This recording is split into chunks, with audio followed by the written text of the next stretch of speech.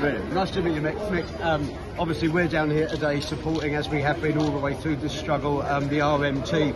Uh, but we're also launching today uh, the People's Plan for Action, which is a union-wide community campaign. Obviously, public sector pay is at the heart of that, but we're calling for a whole range of other action, which I know that your union has been supporting to bear down on the cost of living crisis for people um, across the country. And uh, this is a really, really um, important moment for us because we're really seeing communities and workers coming coming together. Yeah, well, the RMT will be totally behind that. We've been saying for nearly a year now that the community group, right, right across every community in every city, town, and village in Scotland and in in Britain as well, but I know the STU, STU stance on this is the same as ours. We need to mobilise working people, whether it's defending your local service, your care home, your, your creche, your nursery, your library, whatever it is.